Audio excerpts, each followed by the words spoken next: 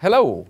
In the following, I would like to give you an introduction to the PCT, the Patent Cooperation Treaty.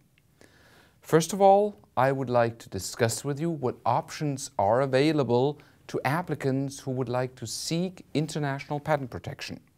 Then I would like to explain in more detail what the PCT is all about, why you would wish to consider using the PCT and what are the advantages of the PCT. And at the end, I would like to cover and outline some of the main procedural steps in the PCT system. Now, if you're interested in the PCT and in international patent protection, you probably have either made an invention yourself or you know of someone who has made an invention and you are interested in finding out how to best go about protecting it. Now, you could simply start out with filing a national patent application and trying to obtain a national patent. Now, would that be good enough? I suppose it depends. If you're really only interested in protecting your invention in a particular country, then filing a national patent protection might be sufficient. However, if you're also interested in protecting that invention in other countries, you need to consider filing for patent protection also in those other countries. And the problem of obtaining international patent protection comes up. Now, why do you need protection in multiple countries? Well, that's essentially because of the principle of territoriality, which applies in the international patent system. And this principle means that if you obtain a patent in one country or in a particular territory, you're really only protected in that one country.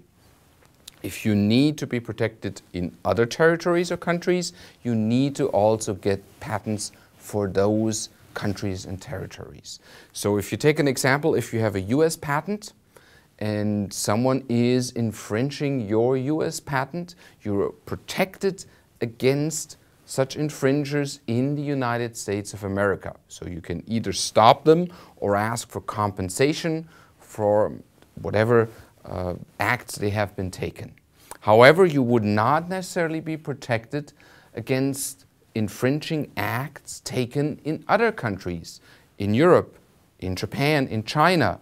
If you also want to be protected against such acts in those countries, you need to obtain a patent in Europe, in Japan, in China, as the case may be. So as a result, if your business tends to be more global. If you're interested also in foreign markets, you really need to consider obtaining international patent protection or patent protection in multiple countries. So there are really two main options available to applicants out there to obtain international patent protection. You can either file for protection under the Paris Convention, an international treaty established in 1883, or through the PCT, the Patent Cooperation Treaty. Let's first take a look at the option going through the Paris Convention.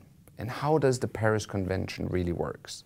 Well, the Paris Convention, this international treaty, basically sets up a system where a national of one of the member states of the Paris Convention can file a first or initial patent application in one of the member states of the Paris Convention.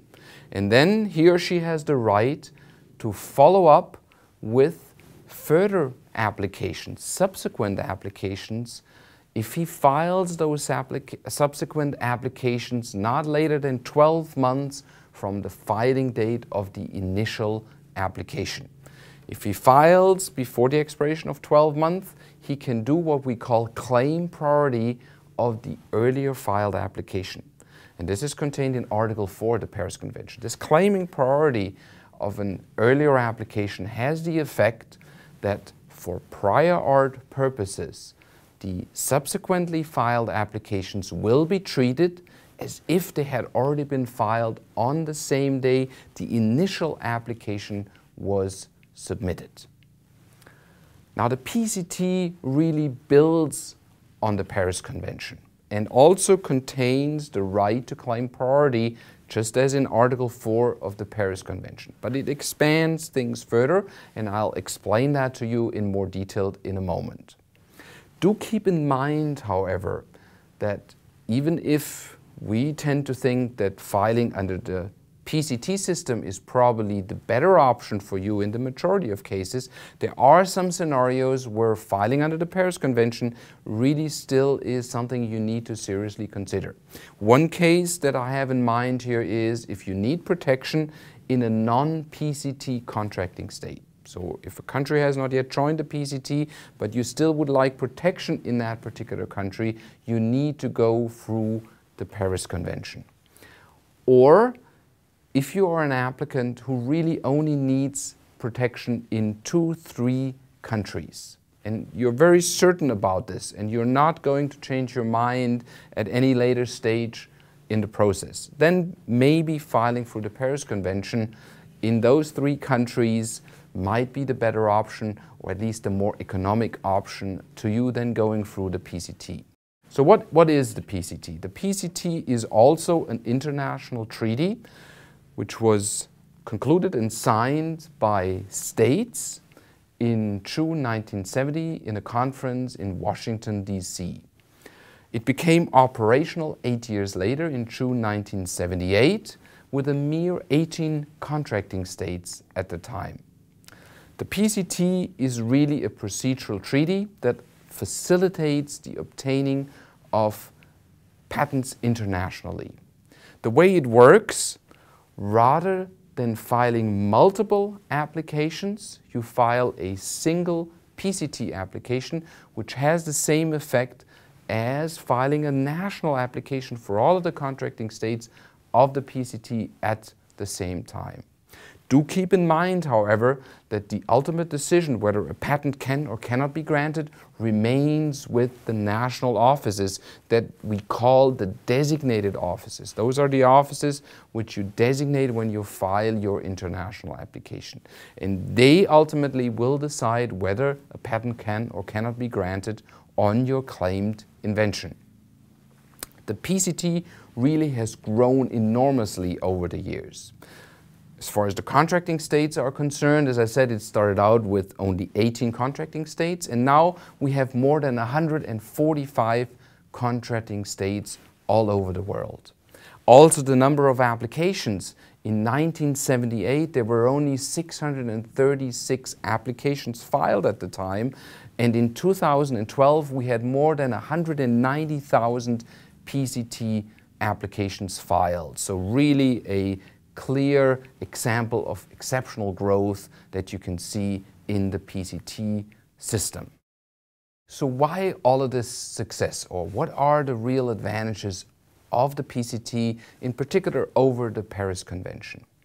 One of the elements of this I would think is simplification.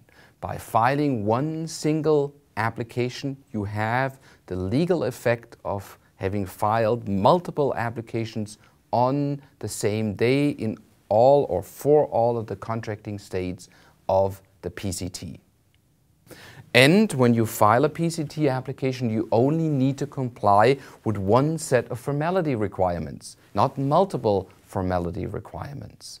This even applies later on before the national offices where you continue with your application until patent grant, they need to apply the same set of formality requirements that apply under the PCT and they cannot ask you to comply with different or additional formality requirements than those under the PCT.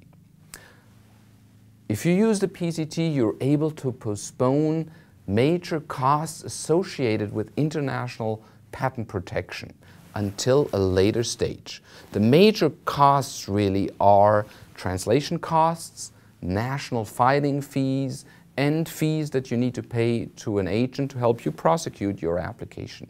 These costs under the Paris Convention, you would really already have to come up with them before the expiration of 12 months when you have to file your multiple national applications, as I explained earlier. Under the PCT, these costs are postponed for an additional 18 months until 30 months from the filing date of your initial application. Only at that stage would you have to come up with those additional fees and pay those additional fees and uh, bear those costs. The PCT also provides you with a strong basis for your future patenting decisions by providing the applicant with important reports, for instance, the International Search Report and the written opinion, which are established by an authority called the International Searching Authority and which are made available to the applicant in the process of the international application. Optionally, applicants can also ask for what we call a supplementary search report, which is a secondary search done by a different searching authority, or by something called international preliminary examination, which would lead to a report from an International Preliminary Examining Authority, or IPA, which gives the applicant essentially another opportunity to amend his or her application and to come to maybe a more positive final report before going to the national offices then the report that was issued by the International Searching Authority that was the searching uh, the search report and the written opinion of the ISA. One real critical advantage of the PCT that I haven't mentioned yet is that the PCT really buys you additional time. I already mentioned that the costs are postponed, but you really also gain additional time, additional 18 months in comparison to the Paris Convention, before you really need to take the decision if you want to continue with your application before the national offices and before which offices you would like to continue in the national phase before those national offices. And this additional time is extremely valuable to applicants because they can do further research on their inventions, they can check the markets, they can evaluate the opportunities for their inventions and see if and where they really need patent protection at the end of the day. And do keep in mind that the initial decision that you took when you filed your PCT application, that you needed patent protection in 10 countries, for instance, that decision can change. It can go either way. Either you come to the conclusion this is really a great invention, I need patent protection in even more countries, and that's absolutely doable under the PCT. Or you restrict your initial decision. Instead of 10 countries, I only need protection in five countries, and you can do that before even you have paid the translation fees, before you have paid your local attorneys and your national filing fees. So this is really the crucial advantage of the PCT over the Paris Convention. So now I would like to talk about some of the main procedural steps in the PCT system. And first of all, I would like to explain that there are two phases in the life cycle of an international application. We talk about the international phase followed by the national phase. The international phase really is about the filing of the international application, international search, and the written opinion established by the International Searching Authority or ISA, international publication, and the optional international preliminary examination. This is a streamlined procedure which all international applications go through except for international preliminary examination, which is optional. And then this is followed by the national phase. Here, the applicant needs to decide before which offices do I wish to continue, and he will then take his application to those offices where he wants to continue. He needs to furnish a translation, pay national fees in this case, and then continues before some of the offices which he originally specified in his international application. So typically what happens is an applicant will start out with filing a national application. And then before the expiration of 12 months, he will follow this up with the filing of an international or PCT application, claiming priority of that earlier application under Article 4 of the Paris Convention, as I explained earlier. He files his application with an office that we call the PCT receiving office. Those are usually national offices, but in their function under the PCT as a PCT receiving office. The receiving office will do a formality check on your application and they will send a copy of your application to the International Searching Authority so they can commence with the international search and they will send a copy to the International Bureau here in Geneva, Switzerland. We will do a second formality check on all of those applications and we will get back to the receiving offices if we notice something that they haven't seen so they can go back to the applicant so the issue can be resolved during the international phase of the PCT procedure. We will also then prepare those applications for international publication, which takes place promptly after 18 months from the initial filing date of your first filed application or which you claim priority. And then you have the two optional procedures, supplementary international search, the applicant so wishes, or international preliminary examination, again an optional procedure. At 30 months, the applicant needs to decide whether and where he wants to enter the national phase. And then the national phase commences and the national processing of the application with, at the end, hopefully the decision that a patent can be granted on your claimed invention. So I hope I was able to show you in this short presentation that the PCT buys you valuable time and provides you with relevant information to allow you to take informed decisions about whether and where to obtain international protection for your claimed invention. I discussed some of the main advantages of the PCT, in particular in comparison to filings under the Paris Convention, and I gave you a brief overview over the main procedural steps in an international application. If you want to know more about the PCT system and how it works and functions in practice, please feel free to contact us and you will find all the contact information on our internet site.